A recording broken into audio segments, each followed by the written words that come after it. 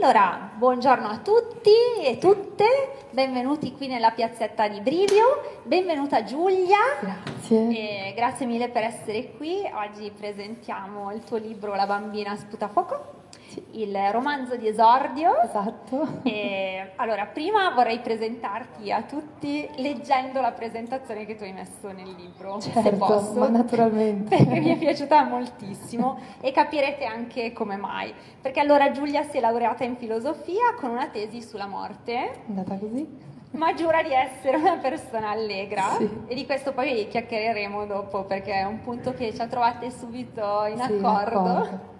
E mm, di giorno realizzi progetti narrativi come creativa freelance, sì. quindi scrivi per gli altri Scrivo oltre che per te. Esatto. Eh, e di sera sei una cantante. Sì, tranne oggi che come potete sentire non ho voce, sono vittima dell'aria condizionata, però comunque sì. E di sì, solito sì. però non ti confondi, quindi non esatto. inverti le cose. E in questo eh, romanzo d'esordio tu racconti una storia che è tutta tua eh, ma che in realtà eh, racconta anche la storia di qualcun altro, dei sì. protagonisti, no? che non sei tu la protagonista, no. anche se è una storia che conosci bene, perché abbiamo Mina e Lorenzo, ce certo. li vuoi presentare? Ma certo. Grazie. grazie a te, grazie a voi. Allora, La bambina sputafuoco racconta prima di tutto di Mina, che è questa bambina che si trova a vivere in un ospedale improvvisamente ed è, ed è triste, non vuole stare lì e, ed è arrabbiata ma non abbastanza, nel senso che è molto rassegnata, non vuole uscire dalla sua stanza. E fino a quando incontra un bambino che si chiama Lorenzo che è molto molto arrabbiato lui, anzi all'inizio è proprio molto brusco questo incontro, scappa un dito medio addirittura, e, però lei ricorda, è, è come se Lorenzo aprisse e allora loro cominciano ad arrabbiarsi insieme contro tutto e contro tutti e fanno impazzire un sacco di persone. e, e, però il bello è che questa rabbia è calda e quindi è come una sorta di motore termico che serve loro per creare una sorta di mondo parallelo dove rifugiarsi quando il gioco si fa duro. E, e quindi così comincia un'amicizia.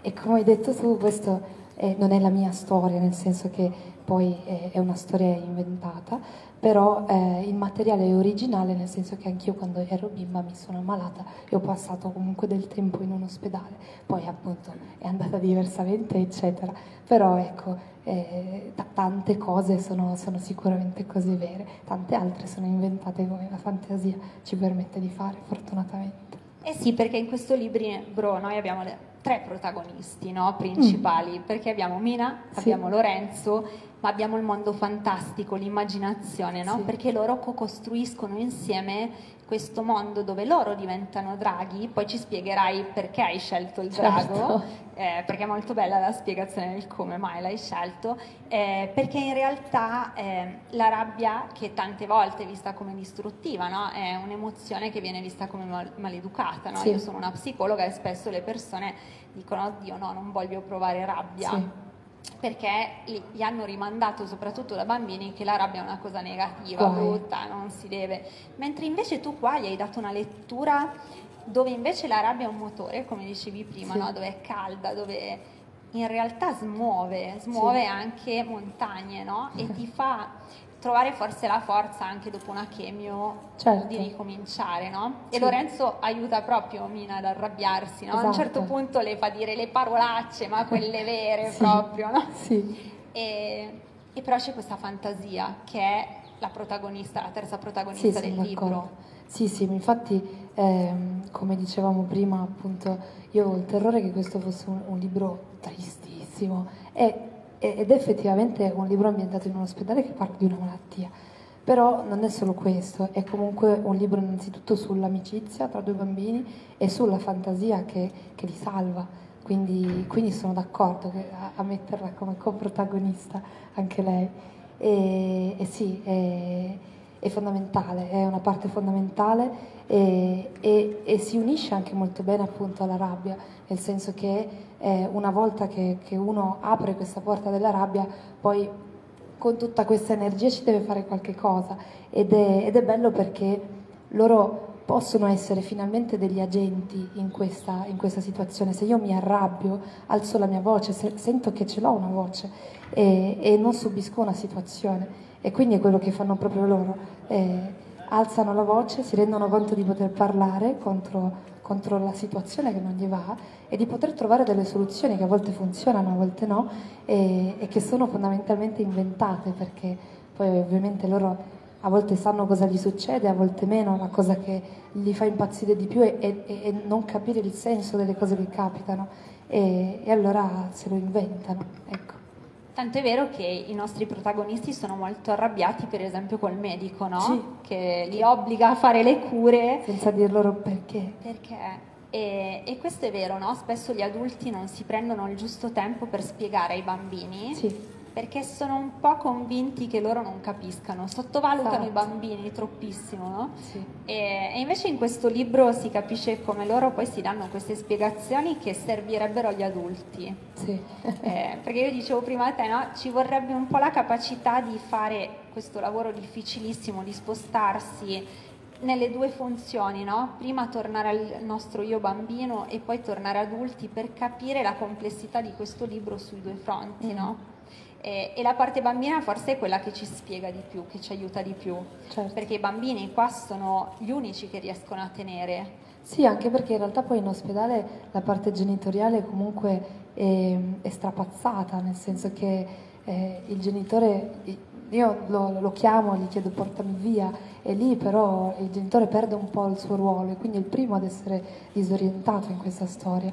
E, e, quindi chi prende la situazione in mano sono proprio i bambini che sono quelli che, che, riescono a raccontare le cose come stanno, che non hanno bisogno di raccontarsi altre cose per stare meglio, ma vogliono sapere cosa succede, come, sono, sono molto più dritti, hanno un pensiero molto più lucido e, e anche molto più accogliente, nel senso che parlavamo prima anche di strutture, noi adulti poi ovviamente ci costruiamo addosso tante tante tante strutture che ci impediscono di sentire, di dare, di ricevere. Invece i bambini queste, queste strutture non, non, le hanno ancora e quindi per loro è molto più facile accogliere anche delle notizie più scure e, e rispondere anche più, più, facilmente, più direttamente. Eh, loro non hanno neanche bisogno di raccontarsi la realtà. Mh, zuccherandola, no? No, no, no, no ah, anzi. anzi. quando tu racconti per esempio delle sputacchiere, no? Del, sì. eh, un adulto non riuscirebbe mai a raccontarla in questo modo, no? Anzi, eh, gli adulti hanno un po' paura di quello che la malattia porta con sé. Certo. Mentre invece i tuoi protagonisti non ne hanno paura, loro l'affrontano. Sì, come anche, adesso hai parlato di sputacchiera, c'è, una, c'è una, due pagine sul catarro. Oh sì, e mio noi... figlio le, le, amerebbe tantissimo, infatti sì. lo leggiamo insieme. Volentieri. Sì, perché noi adulti abbiamo anche molta paura di certe parole e di certe parti del nostro corpo, di certi fluidi, non diciamo cacca, cioè non, non, oh, sì. le caccole non le nominiamo, e invece i bambini lo fanno. E, e, quindi anche di tutta questa parte corporea, di stare a contatto col proprio corpo, loro non hanno paura e, e questo sicuramente li tiene bene coi piedi per terra, nonostante poi loro si prendano molte libertà fantasiose e immaginino, però questa, quest- e questo è proprio un, un, bilanciare. Possono fantasticare così tanto perché hanno davvero i piedi molto per, per terra. Gli adulti invece sono un po' lì a metà che non sanno bene dove stare. Sì, infatti Mina cerca ad esempio di trovare un fidanzato per la psicologa perché sì. la vede un po' scompensata. Vuole no? sempre parlare con lei, non ha nessuno con cui parlare. Sì. Sì. E quindi eh, vivono anche gli adulti come eh, forse poco radicati, no? mm-hmm. più bisognosi. Sì. E, e, cercano di trovare il modo invece di aiutarli a stare, no? Sì, sì, sì. sì. E effettivamente poi vabbè, gli adulti in, in, questo libro sono molto sullo sfondo, ma, ma ci sono tanto. E, e, sono molto sullo sfondo proprio perché spesso sono inattivi e quindi è, è vero che loro cercano quasi di aiutarli. E, e, e, mi piace l'esempio che hai portato, che è quello della psicologa. La psicologa è lì per aiutare Mina, ma Mina pensa, vabbè, ma dai, ti, ti do una mano io. Perché... E que- questa cosa succede con tanti, succede con, con, gli infermieri, succede con alcuni dottori, succede con i genitori anche. Quindi eh, sì, sicuramente sono loro che cercano di occuparsi in un certo senso, di prendersi cura di, di queste figure che improvvisamente cominciano eh, a, oscillare. a oscillare. Esatto. Eh, c'è invece la figura della sorellina, no? Di Olivia, sì. che lei rimane invece suo malgrado sullo sfondo, no? Sì, sì, Mina ha una, una sorellina che lascia inevitabilmente a casa, che si chiama Olivia, e, e anche quello in realtà è un rapporto di, di cura nel senso è vero, lei è sullo sfondo perché ovviamente non la può seguire in ospedale, però eh, è quella che le permette di continuare ad avere un rapporto con il fuori, pur stando dentro, quindi loro si scrivono, insomma, è, è un contatto che continua, che continua, ad esserci ed è bello perché eh, Olivia è più piccolina e, e quindi Mina, a lei, a lei, sembra quasi di prendersi cura di Olivia rispondendole, dicendole ok, pu- puoi fare queste cose mentre non ci sono e in realtà è Olivia in quel momento che si sta prendendo cura di lei. E, e Mina forse se ne rende conto e, ed è bello perché le mette in pari, non esiste più una sorella maggiore, una sorella minore, c'è solo la sorellanza che è quello che, che ci interessa, che, che è poi quello che sta alla base di un sentimento d'amore che si condivide che emerge tanto forte quando poi Mina torna a casa, no? per sì. i primi periodi, e sì. dove è un po' disorientata, tanto che lei eh, subito è terrorizzata all'idea che il fuori, che prima era casa, eh, ma adesso non lo è più perché certo. è il dentro casa, ritorni momentaneamente a casa. No? Sì. Eh, e c'è tanto no? questo dentro fuori e questo come poi troverò il fuori che è andato avanti mentre nel dentro esatto. è tutto immobile, no? Sì. E tu lo descrivi molto bene questo. C'è una grossa domanda su co- co- cos'è una casa, quindi se è il posto in cui si vive, se è il posto che si spera di raggiungere. E sicuramente Mina dopo un po' che sta in ospedale si abitua a quel posto e quando torna a casa, appunto come hai detto, c'è un dentro e fuori senza senza spoilerare niente, però eh, le fa strano, eh, ha delle abitudini nuove che non può, non può applicare alla quotidianità della casa e quindi a volte si chiede ma io dov- dov'è che vivo, ma dov'è che mi piace stare? E questo. E, e questo la confonde, la confonde molto. Anche perché sono gli adulti i primi che sono confusi, sì. no? Eh, perché tu prima hai detto quanto i, i, nostri protagonisti e davvero anche i bimbi, perché poi mio figlio ha l'età che indicativamente mi ero immaginata che possano avere Mina e Lorenzo, quindi una terza, quarta elementare, esatto. dicevamo prima, no? Col loro corpo loro sono tanto più eh, a loro agio, anche sulle mh, particolarità, no? Che magari possono essere eh, più divertenti piuttosto che invece preoccupano di più e la maestra invece di Mina non è così a suo agio. Adesso io non voglio spoilerare no, niente, ma mi ha fatto molto ridere, no? E poi leggetelo e troverete questo pezzo e, e poi ne, ne, rifletteremo magari dopo, no? Sul fatto che noi adulti fatichiamo a stare con la spontaneità dei bambini. Sì, ci imbarazza moltissimo, come anche tu, tutto il resto delle le parti corporee di cui poi si parla anche in quel pezzettino lì. E, e siamo molto distanti da, da questa attitudine molto spregiudicata, buffa, ridicola e quindi noi vogliamo sempre fare la, la figura giusta, di dire le cose giuste e attenzione a non, non ferire nessuno, che, è una cosa giusta, però cercando poi di non ferire le persone finisce che non ci muoviamo. E invece i bambini se ne fregano di più però alla fine manifestano comunque lo stesso grado di, di, di interesse e, e, e, di amore anche, senza qualche, qualche, qualche, strato. E forse di attenzione in più, no? perché c'è una sì. frase dove tu scrivi che a volte è meglio stare zitti, no? che c'è questa dottoressa quando arriva ah, sì. no, da Mina e Mina dice beh ma a volte se non sai cosa dire nel dubbio taci. Sì, e, ricordo che ha detto questa cosa mia. E, sì. e, e quindi anche questo no, è importante, quanto loro che sembrano invece spregiudicati sono tanto attenti. Certo. tu parli tanto di amore, no? E in questo libro beh, eh, c'è l'amicizia, no? che forse è la forma più pura dell'amore, Assolutamente. che tu hai definito un po' che ti fa sentire come se stessi in pigiama l'amicizia, sì. no? se ricordo bene. Sì. E questo emerge tanto, no? Sì. Eh, racconta un pochino com'è nata l'idea di, di, raccontare l'amicizia in tutte le sue sfaccettature, senza certo. sconti. sì, sì, beh, allora, eh, innanzitutto pensando a come a come scrivere questa storia non, non mi andava di, di, tirare fuori una storia d'amore, che palle, non la volevo, non la volevo. E, e perché sono d'accordo che appunto la, la, la più grande forma d'amore è, è l'amicizia, perché non, non ci chiede nessun, nessun, atto performativo, non ci chiede di essere migliori di nessuno. E a proposito di accoglienza è proprio questo, quindi quando uno ha un rapporto di amicizia va benissimo come sei, poi ovviamente le amicizie sono anche costruttive, quindi anche Mina e Lorenzo poi crescono insieme, si dicono delle cose e, e si aiutano a vicenda, non è che poi vada bene uno com'è e si, e si lascia così. Però, si modulano un po', no? Esatto, e, e tutto ciò è fatto senza, senza giudizio, senza necessità urgente dell'altro che chiede qualcosa e che altrimenti abbandona. E, e, quindi, e quindi, a me, a me, piace tanto, penso anche alla mia vita privata che i rapporti più belli che ho sono questi.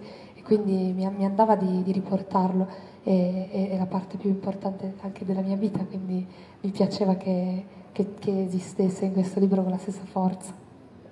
Anche perché eh, in tutto il libro noi iniziamo a, a conoscere no? questo Lorenzo che subito è molto, come dicevi tu, anche sì. un po' sgarbato. No? Ma decisamente molto educato. eh, che però piano piano aiuta no? tantissimo Mina a trovare una parte di lei che forse non si sarebbe mai permessa sì. di, di, vedere, di, di, toccare e di esprimere, che invece l'aiuta tantissimo poi a diventare il drago, no? Sì, sì, sì. sì. Eh, e come mai hai scelto il drago come animale guida? Allora, sì, in questi giochi che fanno loro si immaginano di essere tante cose, e però poi alla fine ci sono alcune cose che preferiscono ad altre. E Mina preferisce il drago perché? Perché quando stai male nessuno ti capisce in realtà, perché nessuno può essere te e, e, quindi lei per molto tempo ha voglia di tenere lontani gli altri e i draghi sono degli esseri che sputano fuoco, sono terribili e, e a lei piace avere questa, questa, forza anche di repulsione. E al contempo i draghi li conosciamo anche perché sono dei custodi e, e quindi li immaginiamo sopra questa piramide di, di, di, ricchezze, di preziosi e ciò che è prezioso per Mina è lei stessa, è la, è la, sua vita quello che sta cercando di difendere in quel momento. E anche Lorenzo, anche la, sua amicizia, la sua famiglia, tante cose. E quindi il, il drago ha, ha proprio questo, così, questo, significato ambivalente e, e forte sotto, sotto entrambi i lati. E quindi poi il drago in realtà non viene fuori spesso perché noi stiamo parlando molto di immaginazione, ma questa poi è una storia molto reale, quindi eh, entrambi i lati sono molto forti. E il drago appunto viene fuori proprio quando ce n'è bisogno, fortunatamente non tante volte, però, però sì, è una parte, è, è, il suo paracadute. E viene fuori in realtà, non so se ti è capitato di, di notarlo, solo quando è dentro l'ospedale, perché serve lì che lei però alla fine poi lo porta fuori come tratto ma molto sì. addolcito, no? Esatto. Eh, perché lei dice mi piacerebbe essere anche di quei draghi che hanno i baffoni e che in realtà non devono sputare il fuoco sì, sovente, ma che possono, essere, ecco, che possono essere accolti, accuditi e, e che portano anche un po' di, di buon umore, di simpatia. Sì. No? Sì, sì, sì. Eh, dicevamo, non è un libro triste assolutamente, ma è un libro eh, che ci fa riavvicinare poi vabbè, eh, anche al nostro mondo bambino, no? perché ci sono anche delle, dei piccoli tratti dove tu scrivi, per esempio scegli di, di dire un luogo che è quello di, di Nemo, sì. Sherman. 42 quello qui, sì. sì. Eh, e quindi in realtà se ci si lascia trasportare è un libro che non spaventa mai, no? mm. che aiuta tutti a poter par- parlare di morte, di sì. avvicinarsi no? con quelli che, che, è un tabù la morte, non è così facile un venerdì pomeriggio ritrovarci a dire ma su via, ma perché non chiacchieriamo di morte? Vabbè, sì. per me è un po' più semplice Anche perché per io me, però comunque, sempre, certo. però gli altri sì. non è che magari sono così a loro agio. Beh, è un libro che non ti fa mai dire oddio lo devo chiudere, è troppo. Sì eh, perché si capisce fin dalle prime pagine no? che sarà un libro dove comunque il tema della morte ci accompagnerà certo. sempre. Eh, c'è il cancro, noi abbiamo paura addirittura di dire eh, cancro, certo. no? tutti a dire il brutto male, no, si chiama cancro, possiamo sì, dirlo, ad alta voce si può fare, no? sì. eh, ma non abbiamo mai quella sensazione che tu ci voglia turbare. Mm-hmm. E questo penso che sia un regalo per il quale noi dobbiamo dirti grazie, perché sei riuscita a portarci in questo mondo, raccontarci com'è una giornata in ospedale, senza sconti, perché non è che mai sì. utilizzi dei termini differenti, usi la parola chemioterapia tanto, sì, ci sì, racconti delle flebo, eccetera, ma senza che mai questo eh, ci risuoni come insopportabile. Mm. Io penso anche per chi l'ha vissuto, c'è una delicatezza, no? Tu racconti la tua storia senza eh, voler ferire chi legge, che spesso certo. invece è un bisogno no? di chi racconta una parte della vita che magari l'ha profondamente colpito. Certo. Anche perché tu racconti eh, che non è un bisogno, non è nato da un bisogno questo libro, no. è nato da, da, più un esercizio creativo, no? Sì. Hai voglia di raccontare com'era nella scuola Walden che poi è nato tutto questo? Sì, allora sì. Ehm alla fine del libro c'è una piccola intervista che ha messo Garzetti che secondo me è stata una buona idea, bella. E, e gli dico che appunto io non, non, non volevo scrivere questo libro, non, non mi andava proprio. E, e, poi ho fatto un master alla scuola Holden, che è una scuola di scrittura che magari conoscete, che è il posto dove lavoro oggi. E, e siccome comunque ho fatto un grosso investimento per questa scuola, volevo fare le cose bene e, e c'era un esercizio, si chiamava il cerchio, che era molto crudele, molto crudele. Io non so tu come, come psicologa cosa ne pensi, però insomma... E sostanzialmente ci si metteva tutti in cerchio e ognuno raccontava una parte difficilissima della, della propria vita. E, e poi le altre persone raccoglievano una parte del racconto e ne facevano un testo, una poesia, qualsiasi cosa e la leggevano di fronte agli altri. Quindi insomma una cosa abbastanza d'urto. E, però io ho deciso di raccontare comunque questa, questa parte della mia vita di cui parlavo da un sacco e non è stato bello per niente. E una ragazza ha scritto un racconto che non mi è piaciuto per niente. Ma perché non ha avuto la delicatezza di eh, non, non, lo, non, lo, so, non, non, lo so dire, forse io anche non ero disposta, non lo so. Comunque mi sono ritrovata con questa storia fuori e dovevo farne qualcosa e quindi l'ho raccolta con gli strumenti che avevo io, che erano sempre quelli della scrittura. E ho scritto un racconto io, ma non per fare io meglio, no, me lo sono tenuta per me. E mi ha fatto bene, mi sono resa conto che mi sono divertita tantissimo a scriverlo e proprio è venuto fuori un racconto comico. E si chiamava Due brutti ceffi, perché sì, loro, Mina e Lorenzo, erano, sono erano già sono ma anche fisicamente sono pelati, sono brutti, lo sanno che sono brutti, fanno paura. E, e quindi insomma è, è nato così e, e, siccome mi è piaciuto tanto scrivere questo racconto, poi si è allungato ed è diventato un libro. E, ed eccolo. E anche la modalità no, con la quale è scritto, dicevamo prima, non è semplice per tutti, no? Ma non sì. perché lei utilizzi termini difficili, anzi perché a parlare è la protagonista, sì. no? E, e, il flusso di pensieri poi diventa il flusso delle parole, no? Sì.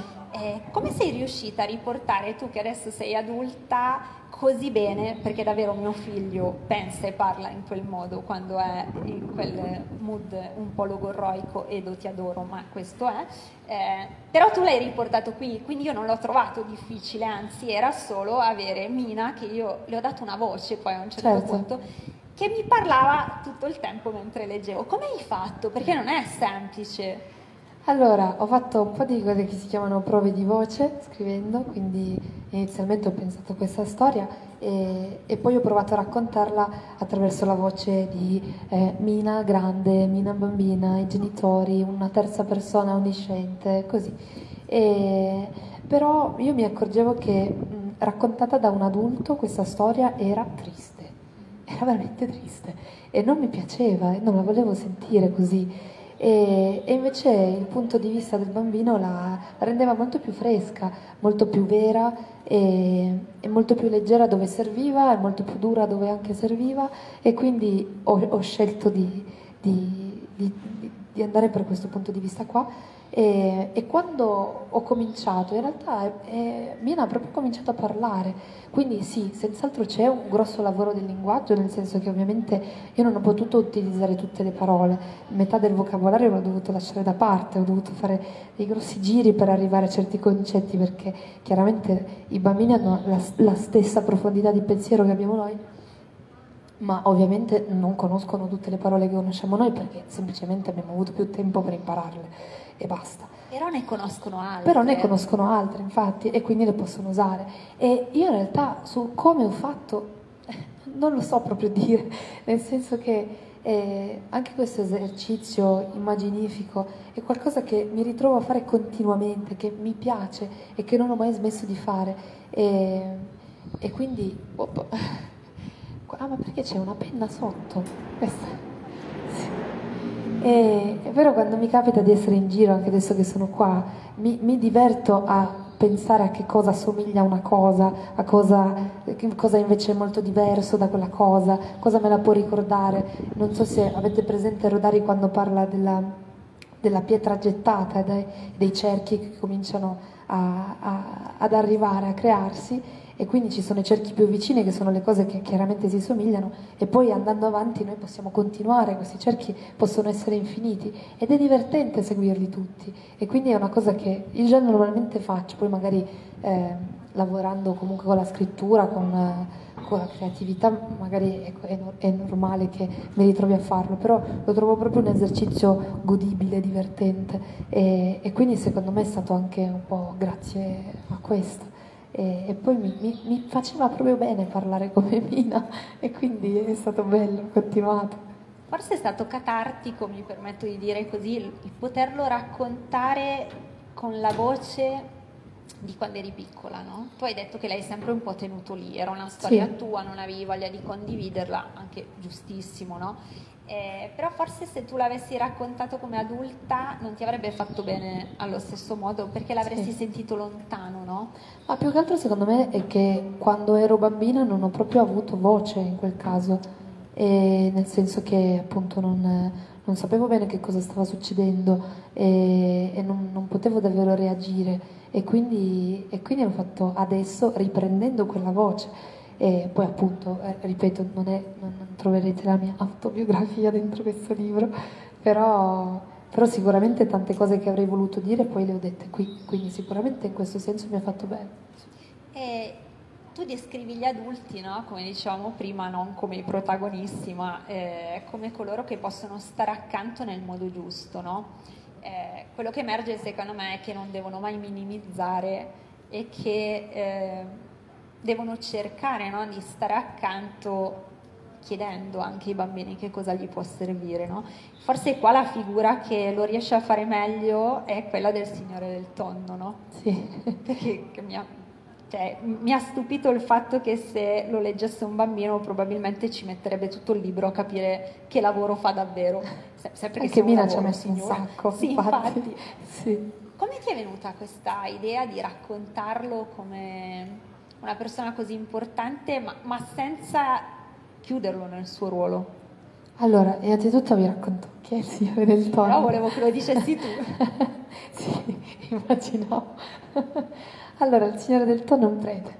E ci sono, ci sono molte figure in un ospedale, volontari, infermieri medici, poi spesso ci sono delle, delle, persone che hanno a che fare con la religione, che sostengono i genitori, i bambini, insomma sono un po' d'aiuto. E il Signore del Tonno è appunto un prete e, che eh, vuole che Mina dica delle preghiere perché eh, lui crede in Dio e quindi pensa che possano essere utili. A Mina non gliene frega niente di questa cosa e quindi trovano una sorta di compromesso, fanno un patto. Siccome a Mina non piace niente di quello che è il cibo ospedaliero, perché effettivamente fa schifo, eh, ma solo le scatolette di tonno che può mangiare lì, allora il Signore del Tonno e in cambio di scatolette di tonno e le fa dire delle preghiere, quindi loro in questo modo eh, diventano amici. E, e, quindi poi è un'amicizia che in realtà si consolida e a Cammina piace molto perché a proposito di quello che dicevamo prima, ovvero che nessuno dice ai bambini le cose come stanno, mentre invece sarebbe bello che qualcuno lo facesse perché possono capire, e, Ecco, il Signore del Tonno fa questa cosa, quindi risponde a Mina sinceramente e, e lei lo apprezza moltissimo, si sente libera di, di, aprirsi con lui e di fargli tutte le domande sulle cose e, e, lui risponde a seconda di quello che sa e a seconda di quello che crede, che a volte non è quello che crede Mina, infatti.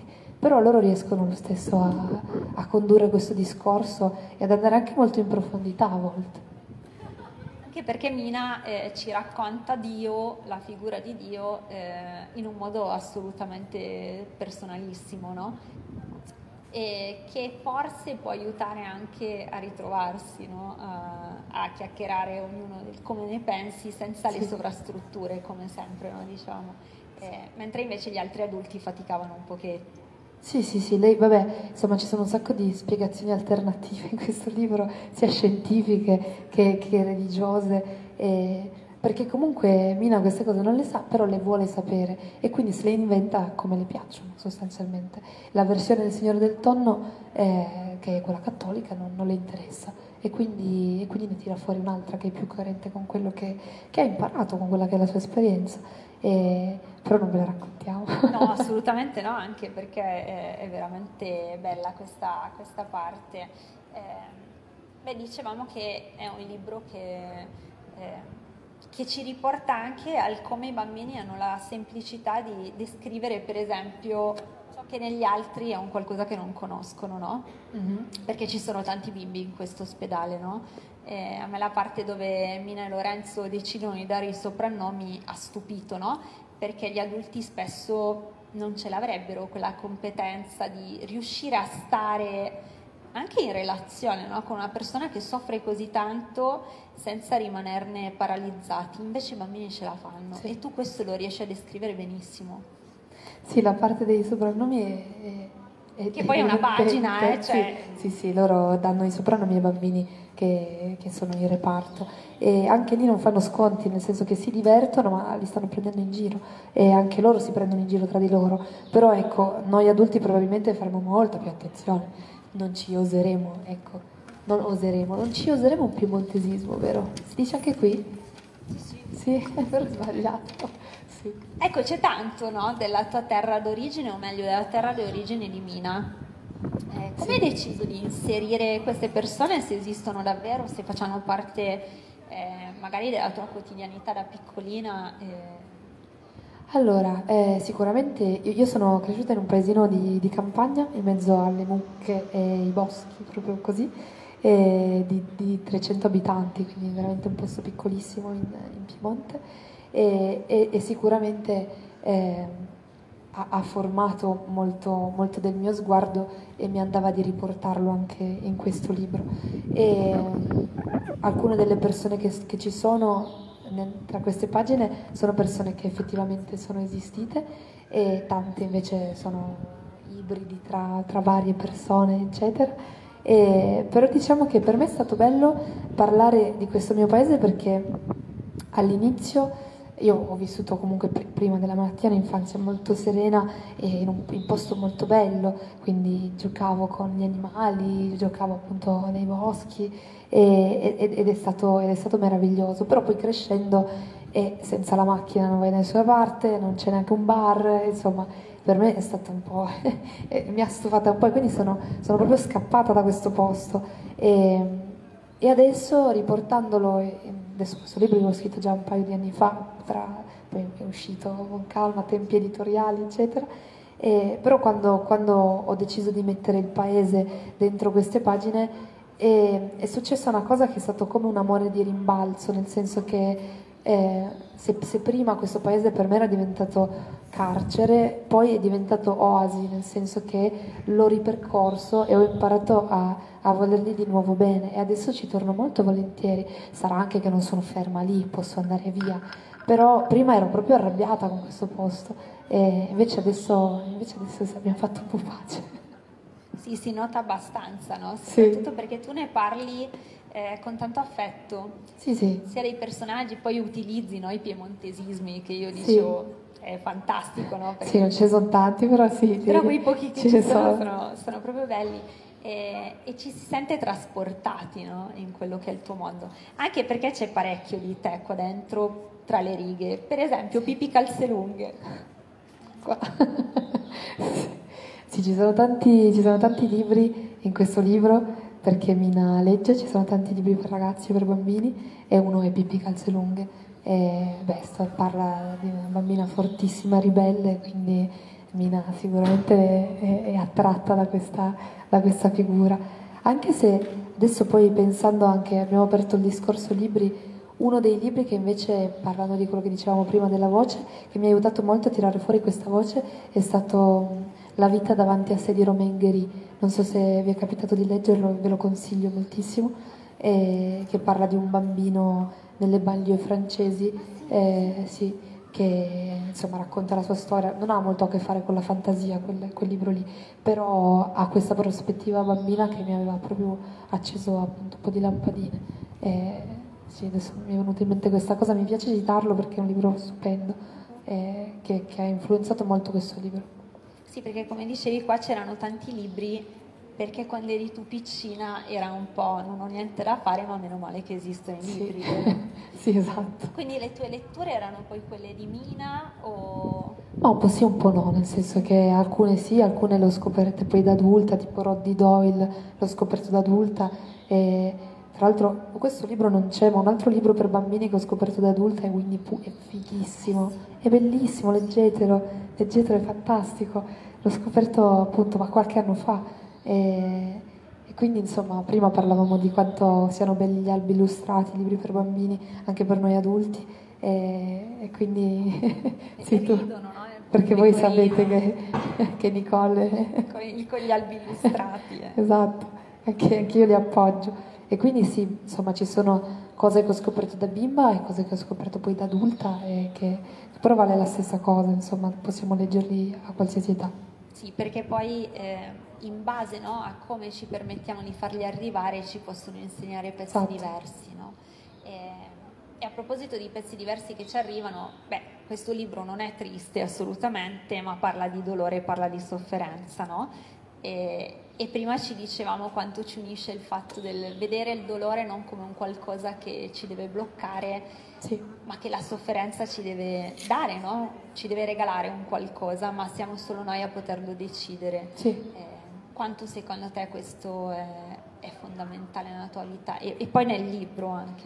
Beh, nella mia vita sicuramente tanto, sì, e, e, e, nel libro anche, nel senso che, come dicevamo prima, eh, anche tutto questo, questo, fantasticare vuol dire diventare i protagonisti di, di una storia e non, e non, sentirsi raccontare la propria storia, che invece questo è, è molto duro. E quindi Mina alza la voce eh, perché va a lei di raccontare questa storia e, e, e, di non rimanerne vittima. Ecco. E questo lo possiamo fare tutti con tutte le nostre storie e, quindi appunto eh, mi viene sempre in mente Pavese, forse, forse è, è, venuto fuori, non mi ricordo più, che dice che la verità è che soffrire non serve a niente. E, è un po' vero perché sta poi a noi dare un senso a questo soffrire se, se vogliamo che, che, serva lo possiamo decidere e possiamo raccogliere questa cosa e farne qualcos'altro. Se rimane così non serve a niente, probabilmente.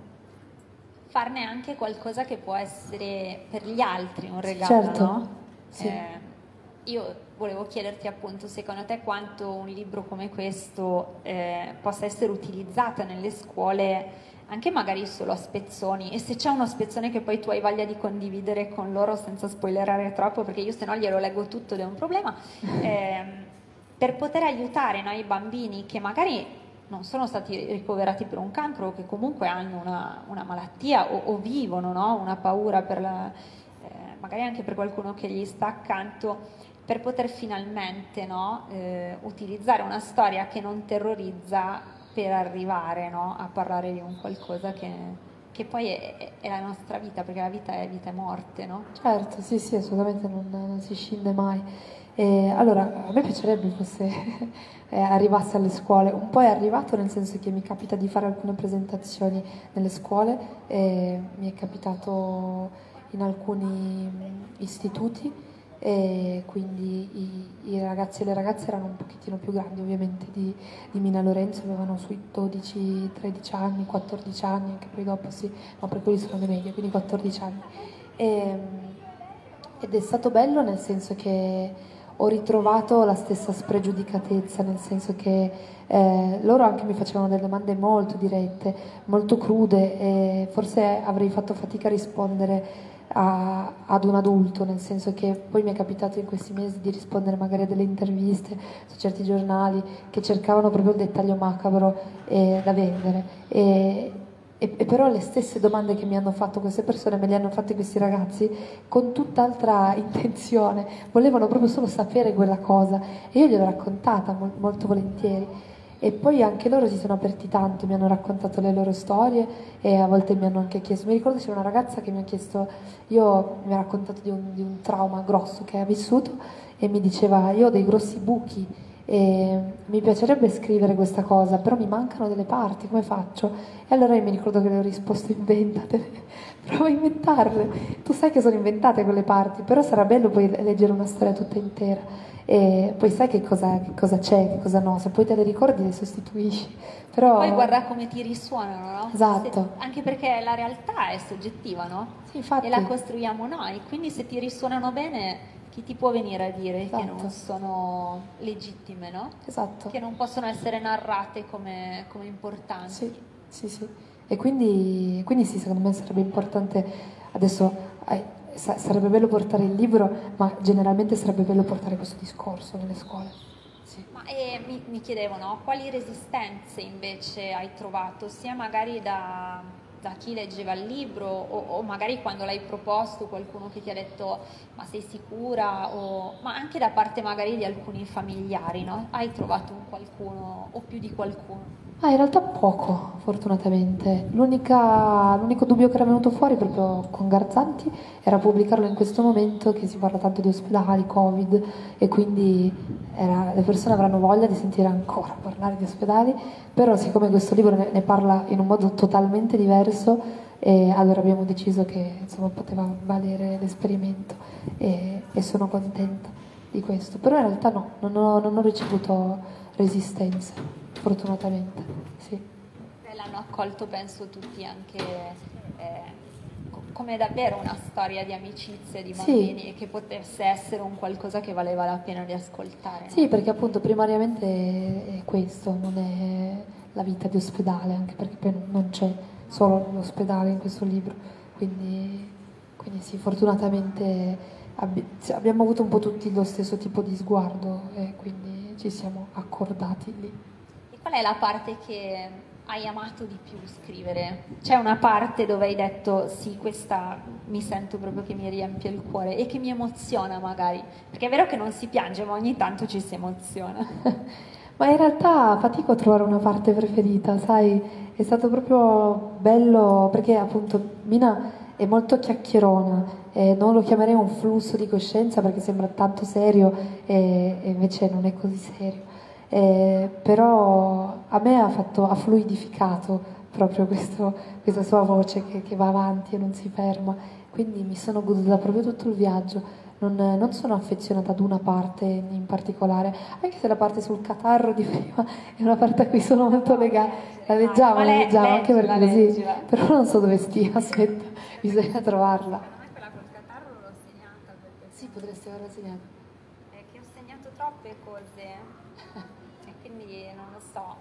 Eh, nel mentre che noi cerchiamo il catarro, voi avete domande, volete... perché fa ridere noi che cerchiamo il catarro e che state in attesa. Se no... Perché, perché se no ce la racconti tu, perché... Oh. No, ma forse, forse il catarro... Io ne ho messe troppo. Aspetta che tanto mi ricordo da... Sì, sì, penso... Scusate, ma il bello della diretta. Ah, perché è imperdibile quella parte.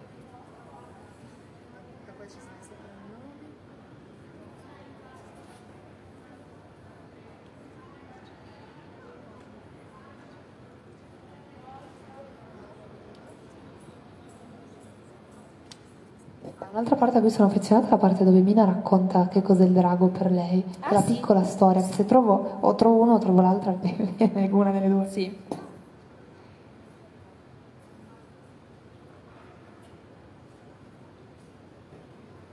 Beh, io allora invece ringrazio la libreria Brivio per avermi dato la possibilità di presentare questo libro bellissimo che ho già eh, proposto a mille persone. Grazie. Allora, ho trovato prima la parte sul catarro, quindi mi tocca questa. Allora, scusate la voce. Il catarro non è sempre verde come i pini, a volte è giallo o marrone, oppure rimane bianco e se sputi sembra solo una solida palla di saliva. Il mio catarro lo sputo in un bicchiere di plastica di quelli bianchi con le righine orizzontali che se ci passi sopra l'unghia fanno il verso delle rane. Dura solo qualche giorno, poi lo cambio perché puzza e mi fa schifo avvicinarmi con la faccia anche se è roba mia. Ogni volta che ne prendo uno nuovo, mio padre tira fuori gli indelebili e ci disegna su qualcosa perché non vuole rischiare di berci per sbaglio ed è meglio così perché anche se lui mi rivolge la parola è ancora parecchio arrabbiato e non vorrei che se la prendesse di più. Qua è appena successa una cosa che ha fatto molto arrabbiare tutti.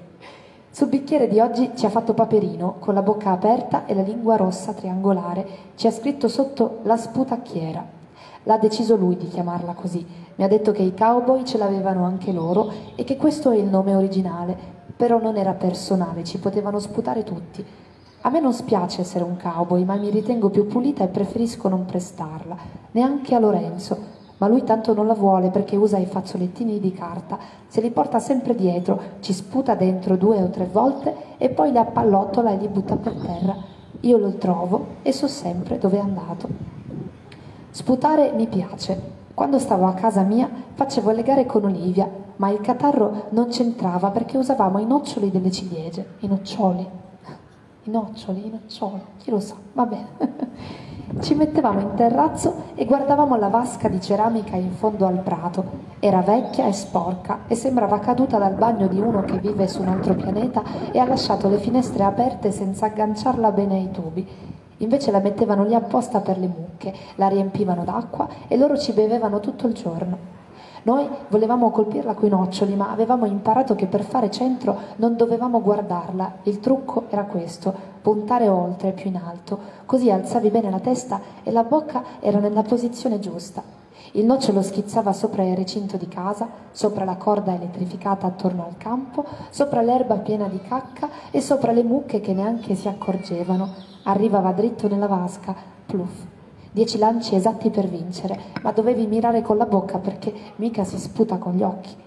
Ogni tanto arrivava il nonno e ci diceva che non era roba da signorine e poi lui rideva perché a sputare i noccioli ce l'aveva insegnato lui. Allora si metteva vicino a noi, chiudeva la mano a pugno e tendeva solo l'indice, se lo infilava in bocca e usciva lucido di saliva e da vicino puzzava parecchio.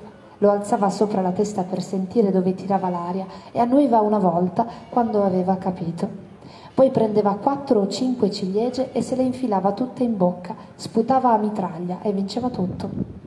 A fare la cosa dell'aria ancora non riesco, ma comunque me la cavo. A volte provo a centrare la sputacchiera da lontano, ma dopo che ho sbagliato due o tre volte me l'hanno vietato.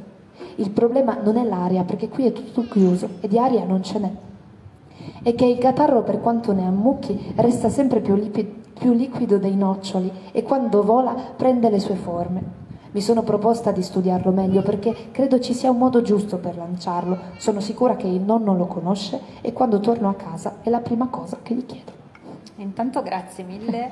Eh, io penso che queste due mm, pagine vi abbiano dato un po' la possibilità di capire quanto raccontando qualcosa che è il catarro, che per noi magari adulti fa schifo, fa schifo ma fa schifo a tutti. E, invece per i bambini è un mondo tu tocchi tantissime parti, la rabbia degli adulti, la difficoltà di gestirla, di saperla tenere. Cioè, i due protagonisti sono capacissimi di eh, rendere la rabbia un qualcosa che è anche positivo, sì. mentre invece gli adulti faticano, no? È per quello che noi la viviamo come una, un'emozione eh, maleducata e faticosa, perché noi fatichiamo, no? Sì. Eh, e poi parli anche di volgere lo sguardo più avanti, no? Più in là, più in alto, cioè l'idea che noi possiamo guardare oltre anche quando forse tutto ci limita, no? Lei sì. dice qua non c'è aria è solo lo sputo no? che non funziona come noccioli. E, e tutto il libro è così, no? nel raccontare cose che poi forse sembrano semplici, banali, eh, invece tu arrivi a una profondità che se uno si permette no? in qualche modo di condividere arricchisce davvero tanto, no? Perché diciamo tu devi sintonizzarti su quello che è il mondo di Mina, il parlare di Mina, il pensiero, sì. no? Tu prima hai detto ma il flusso di coscienza forse è forte, ma secondo me no, perché lei fa un lavoro di introspezione sì, sì, che la maggior parte degli adulti non riuscirà mai a fare probabilmente perché si mette le barriere, perché ha il terrore di quello che può trovare. Lei non è spaventata di quello che, che può scoprire di se stessa e degli altri, sì. tanto che è perniciosa no? a volte sì. nell'andare a comprendere, a farsi spiegare.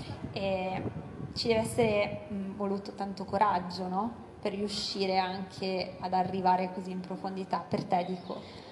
Oddio, sì, forse, sicuramente non mi è pesato però, quindi, quindi forse adesso me, lo dici tu eh, e, e, penso che sia vero, però non, non è su questo che, che, che mi sono te- sentita di avere l'attenzione mentre l'ho fatto.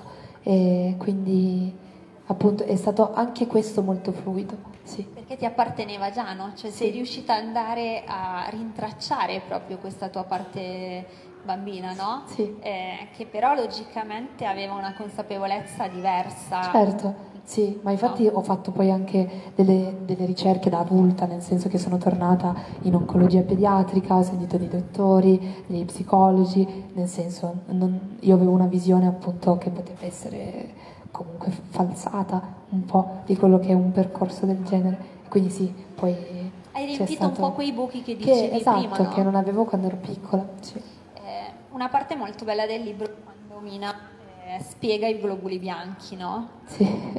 e il come lei ha voluto che glieli spiegassero per bene, tanto che poi eh, riesce a spiegarseli anche lei, no? Sì. Eh, torniamo sempre lì, il fatto che i bambini possono capire solo se gli adulti si permettono di mettersi alla loro altezza, certo. no? di, di, cercare di trovare un linguaggio che non è ehm, tecnicismo, certo. ma che è ti spiego, solo che se ti spiego poi tu ti permetti di farmi le domande e certo. allora mi metti in crisi. sì. eh, qua è, ci sono tanti momenti nei quali noi vediamo quanto gli adulti spesso faticano sì. a stare con la realtà che invece i bambini hanno bisogno di conoscere. I medici, eh, ma anche solo rispetto alle relazioni, no? eh, questo emerge fortissimo. Eh, forse possiamo imparare no? da, da Mina e Lorenzo anche a come si sta nel momento in cui bisogna affrontare la morte, no? Certo. Eh, sai che la frase che a me è piaciuta di più in tutto il libro, la posso dire senza spoilerare, sì, secondo, secondo me, te? Ce la facciamo? Sì. eh, per, sì, così, non lo so, sì, no, possiamo dirla. Perché non spoilero? Ok. Perché giuro, giuro non, non vi racconto niente perché leggerlo e dovete viverlo questo libro, farlo vostro.